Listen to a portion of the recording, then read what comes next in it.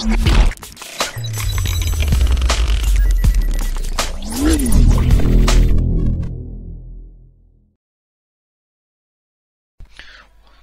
guys, welcome to Tech Info. This is Lokesh Kumar and in today's video I will tell you how to record your game on your PC. Well guys, it's pretty cool to record your game on PC by using this software. It's called Dxtory. It's a free software. You can also find the link below down the description. Once you download, once you install, you will see it looks like that. Alright. So let's discuss all the tabs alright when you will done with the software installation come into the second tab alright make sure you have all the boxes checked out like this and there down this you can see the non-recording status color and recording status color. So as per your wish you can change the color by simply click on it.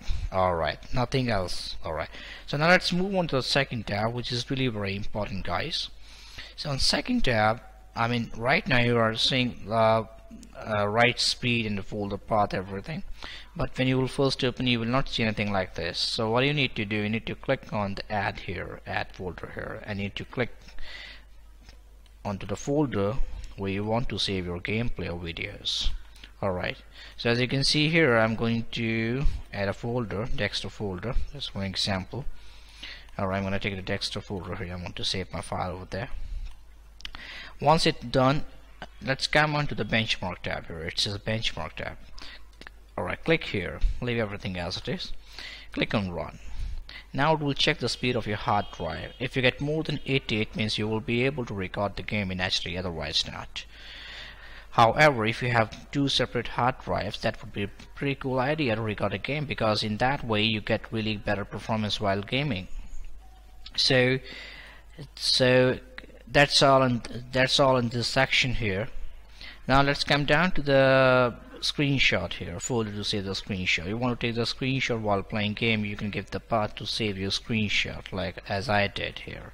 You can see here the whole list of screenshot I took it last time while playing game. Alright there you go.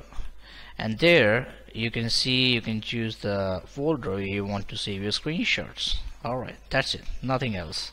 So that's all about uh, adding up your folder and profile here. That's it.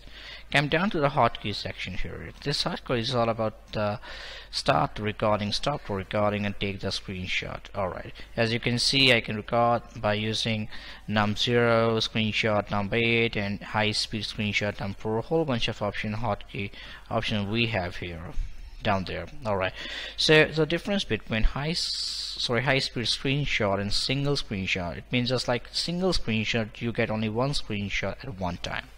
High speed screenshot you get multiple screenshots at one same time. It totally depends on your hard drive. But but at least you'll get uh, I believe two or three screenshots at the same time. So now again it's up to you which one you would like to use it. In gaming. Alright now let's move on to the very major tab of this software. It's called uh, video. There's a movie uh, sorry a movie tab here. So in this tab here you will see the whole bunch of video codec. There's a drop down menu a whole bunch of video codec here. Alright you what you need to do the best code of the software is Lagarith lossless codec here. At first you will not be able to see this file there codec here in the drop down menu. What you need to do you need to download this one from the internet. You can also find the link below down the description as well guys. Once you're done with it you will be able to see this file here the codec file here. And come to the configuration tab here click on it. Four options you will see. Out of four need to check this one out like use multi-threading.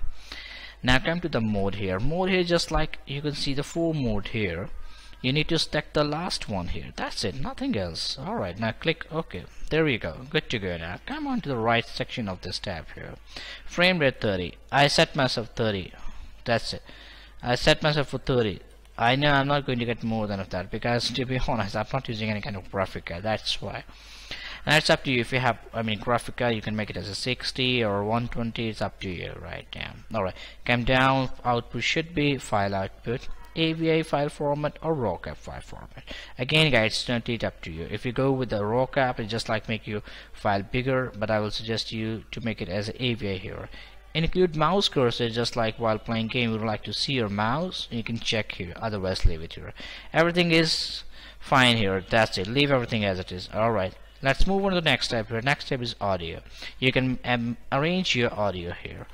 Which audio device you want to use here you can select from here. Alright again it says use a push to talk hotkey alright again you have to check here if you if you give the hotkey here push to talk here make sure this is check this make sure you have checked this one out. Alright that's it. There you go.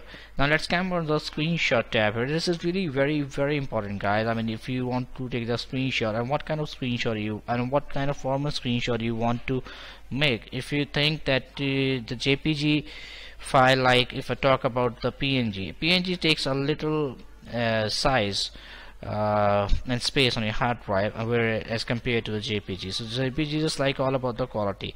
So when you will select the JPG it will ask you to set the quality.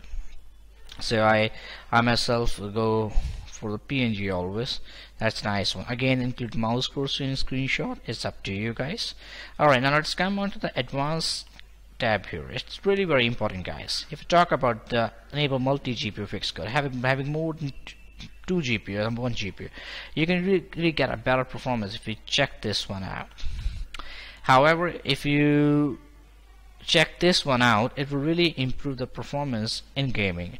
Because it's just like uh, GPU just like helping CPU it it, it decrease the load of GPU and work with CPU I mean both work side by side.